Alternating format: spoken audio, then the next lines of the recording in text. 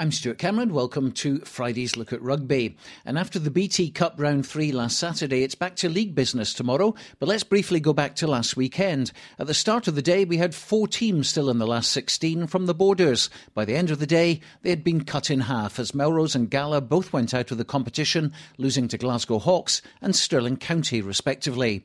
But there were wins for Hawick on the road against Edinburgh Accies, and Kelso beat Musselburgh to take their place in the quarter-finals draw. In the Border Shield pool, Hawick Harlequins beat Earlston and St Boswells took the scalp of Berwick. A big win for them, bearing in mind that Berwick are top of East League 1 at the moment, while Bozzies are top of East League 2, with an unbeaten run in all matches way past the 30 mark. In the rescheduled National League One games, Jed Forest hammered Hillhead Jordanhill just 12 points shy of 100 points without conceding a single point themselves, and Peebles got a good home win against Aberdeen Grammar. In today's show, there's a chat with Scottish Rugby President Ian Rankin, who I spoke with after the quarter final draw of the Cup. But let's hear first of all from Gala's Grant Somerville. He spoke to me after the Maroons' defeat at home to Stirling last Saturday, which saw the Maroons' dismal spell continue. We've had problems throughout the last few weeks and we've had a lot of injuries, but you know, there's no excuse because the boys on the field have got the potential to go and win these games. And um, at the minute, we, what we're doing isn't isn't working. We need to kind of find Plan B. So it's just uh, Hawick and Kelso uh, who are representing the borders. So we can put that now to bed effectively. But there's some big business to be done in the Premiership, and you get another crack at Stirling at Bridgehaugh next week. Yeah, that's a good thing about it. I mean, it, it is a cup game, and we are out of the cup now. That's we can move on from that. We've got the league to focus on. We're still sitting fourth. I'm not quite sure how we're there, but we've uh, we've managed to hang on. So uh, yeah, we're going to look to next week and try and you know pick up the pieces and build back on the league because uh, we keep that fourth spot. We're still somehow in contention at the end of the year. Grant Somerville from Gala. Now, Hawick's player coach Nikki Walker gave us his own thoughts on who he'd like to meet in the next round following their win at Edinburgh Accies. Uh, I mean, the Scottish Cup's massive to the town. You know, there's I mean some great times in the town through Hawick winning the cup. You know, back in '96 and uh, 2002. You know, it's, it's like another common ride in a way. The whole town going up to Murrayfield. So you know, uh, the, the crowd and the Hawick people really get behind the team in the cup, and it'd be nice to, to get a home tie back at Mansfield. You know, we've not really had many home games of late, or not got many home games in January neither. So yeah, it'd be great to get a nice uh, home tie um, for the next round, and hopefully a Borders team as well, just to pull the crowd in and get that excitement going. So, a local derby with Kelso was what he was after, and that's exactly what he got, except the match is being played at Poynder Park rather than Mansfield Park. Kelso getting a home tie yet again against the Greens. Well, I went up to BT Murrayfield to witness the draw for the BT Cup quarter finals and, of course, the semi finals as well. And as well as Kelso playing Hawick, Stirling will host Boroughmuir. Glasgow Hawks will take on Ayr at Old Anniesland. And in the other tie, it's holders Heriots against National League Two team Howe of Fife. Whoever wins the Kelso Hawick game will get a home tie in the semi final against either Heriots or Howe of Fife. Well, after the draw, I spoke with current president of Scottish Rugby, Ian Rankin. Ian, we've just uh, been witnessing the BT Cup draw for the quarterfinals and the semi finals. Some tasty ties on there as well. Uh, what's your reaction to that?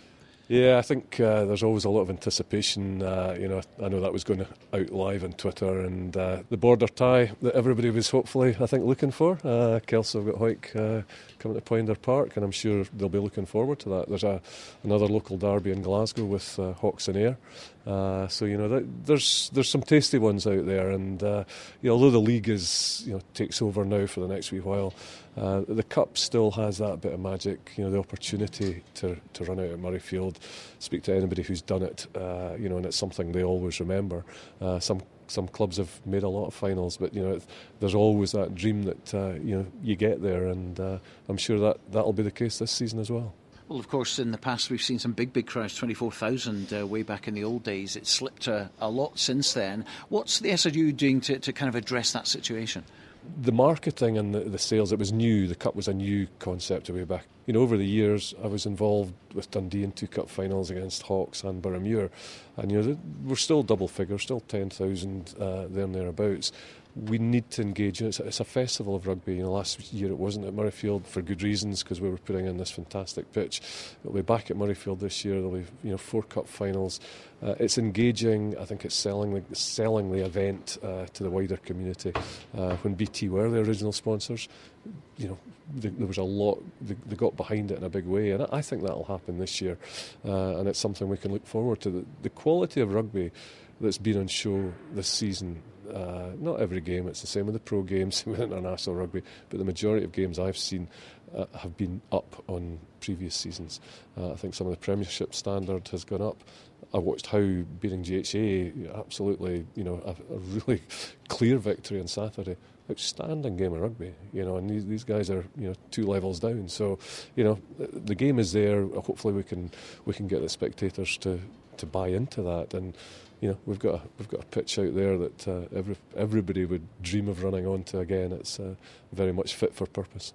And of course, uh, this season it's back to being a knockout cup again, which I think everyone really bought into. Yeah, no, definitely. I think you know we went through the regional, um, the regional cup. Uh, it was probably quite successful in the borders. You know, you've got the, the basis of the, the border league, um, and that's still very strong, oldest league in the world. In the other areas, there seemed to be too big a, a discrepancy between teams. There was teams winning by 80, 90 points, and you know, it really didn't. The, the, the good teams were obviously you know way ahead of the others, but uh, you never know what's going to happen. Now, talking of formats, of course, the Premiership has changed this uh, this year. It's been controversial. Of course, some people think that a league should be going to the, the, the team that, that wins at the end of the season mm. all the all the games effectively. Heriots probably have a great view of that at the moment, and of course, we've been speaking to George Graham uh, early in the season. He's one for that format as well, although obviously he's changed his views just slightly. I think uh, in the last few weeks it has pros and cons. Yeah, I think when you look at the other leagues in the world that have been doing it, you know, they've been doing it down in England for quite a few years now, and it certainly takes it the playoff games. Yes, the team that wins, you know, remember Leicester winning uh, the league, and uh, you know the playoffs they didn't win the league, and they were quite clearly the best team that year. But it comes down; it's like a cup format when it comes to, to the, the playoff games. I think it'll add. I think it's something that'll add to the, the brand of the Premiership. Um, teams who you know are maybe not quite there at the moment, it, it, keeps them all playing. You know, I think you know when we had the British and Irish Cup and everybody was trying to get into the top four. You know that I thought that brought the, the league on because everybody was fighting right to the death to get into that and to get into the you know for the playoffs you know, to get the chance of, of getting to the, the grand final. You know, it's it, it happens all over, and uh, it seems to work. And uh, I, am certainly behind it. Now, the guys I've spoken to in the in the club game, you know, they've got that at the, you know at the back of their mind that you know it's going to a real crescendo at the at the end of the season. As president of the SRU, how are you enjoying it? First of all. It's been uh, an unbelievable experience. You know, I said right at the beginning that you know this hadn't really been part of my master plan. Uh, you know, coming from coaching, uh, you know, when clubs approached me and you know asked if I would consider doing it, you know, I think we're getting the club game far higher up. More people are, you know, in, in Murrayfield, there's a lot more money going into it. There's a recognition. Without the club game, if we don't have a healthy club game, you know, we don't have a game of rugby in Scotland. That's the basic principle that we're, we're working to.